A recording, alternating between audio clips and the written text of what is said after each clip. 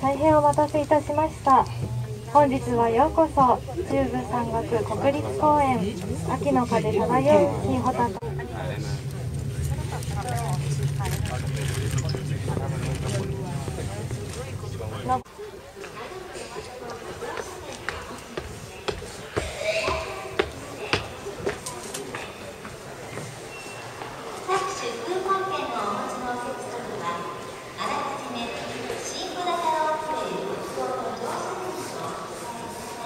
네, 네.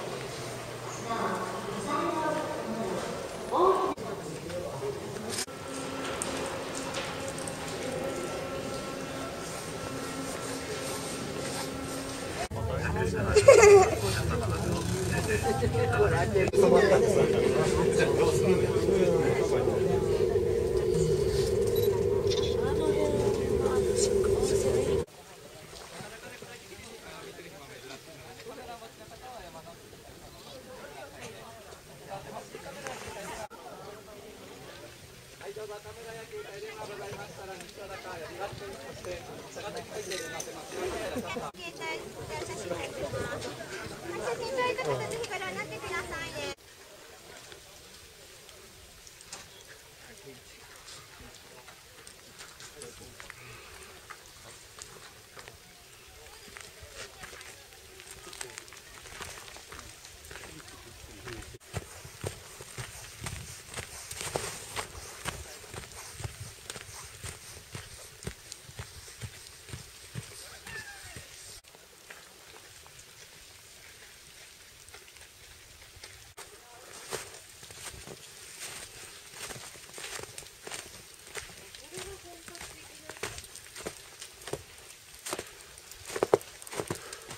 それでは発車いたします。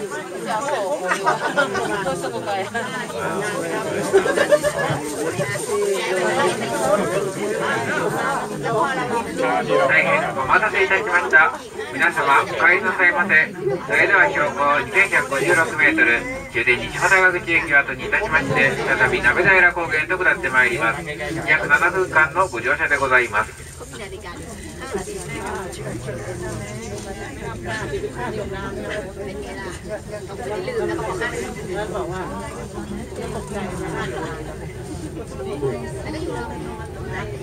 これより3本の鉄道通過いたします。鉄道通過の際、ゴンドラ入れますのでご注意くださいませ。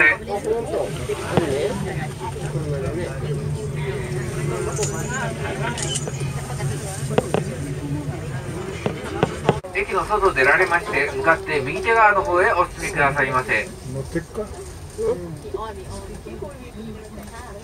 ゴンドラがホームに入ります際、ゴンドラ多少揺れますのでご注意くださいませ。ゴンドラ内、駅舎内などにお忘れ物などございませんようご注意ください。